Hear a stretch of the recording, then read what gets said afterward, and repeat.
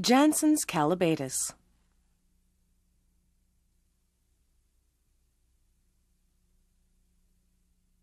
Step 1. For this fly, we're going to use a, a Curve 2X uh, number uh, 12 dry fly hook. You can really use anything. Any 2X nymph hook's fine. And some gray 6-aught thread. The thread's important. This is the color we're trying to achieve, either a tan or a gray. Because the thread's going to be the bulk portion of the fly's body. Step 2. Now for the tail, we're going to use some uh, golden pheasant uh, neck feather. This is the portion below the uh, the more readily used uh, orange and black fibers. You only really want probably four to ten fibers, somewhere in around there, because you want a fairly thin tail, which is at the same length as the hook shank. Quite a long tail for this mayfly nymph. Cover the whole body, it helps add to the bulk.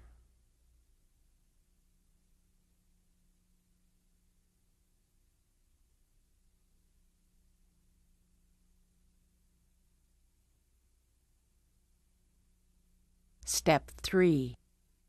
Now we're going to tie in a piece of uh, small silver wire. Prefer to use silver. And uh, wrap it the whole length of the fly.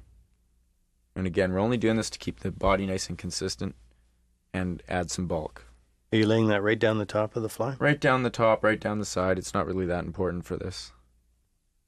Step 4. Now we're going to take a piece of Ziploc bag and trim off a piece about an eighth of an inch wide.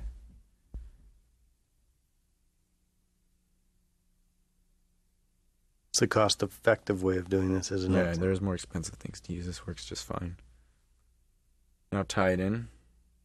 Right down the whole uh, length of the body again. Just again, adding to a bit of the bulk so we don't have to build it up with all thread.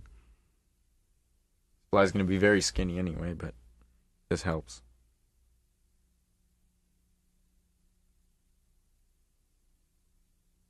Now take and wrap about two thirds to three quarters of the way down the hook with your plastic just gives you a bit of a shiny look to the fly because the nymphs are fairly translucent and a bit shiny shelled.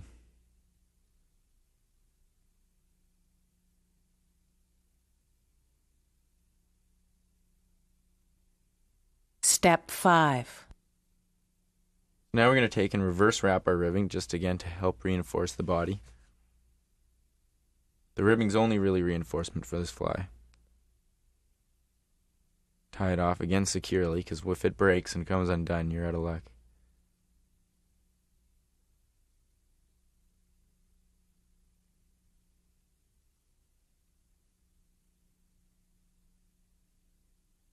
Step 6.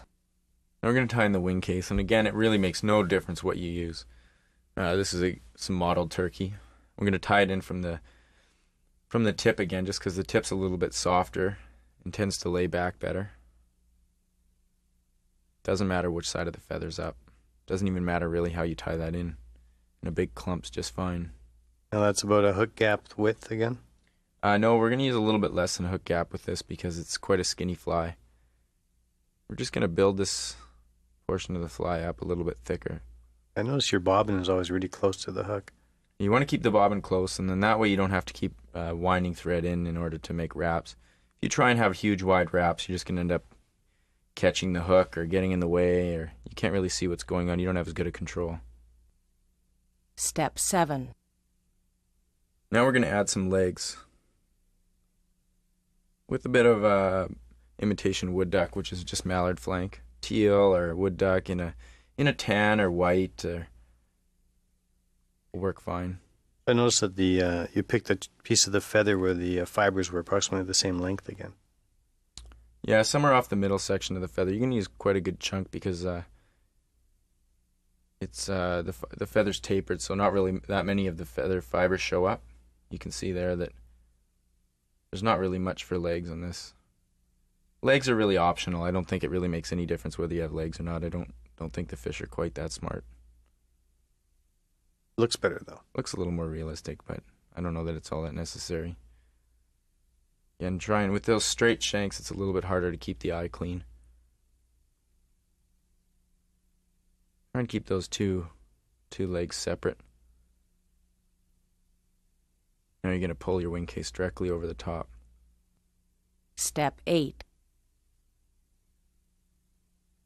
And you go right over the back of the fly. And tie that down. Always remembering to try and keep the eye clear.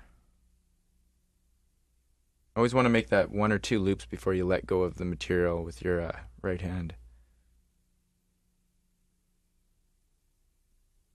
Step 9. And whip finish it. Might be a good idea too, as well, to glue the wing case because it's just going to fall apart. Quite a soft material.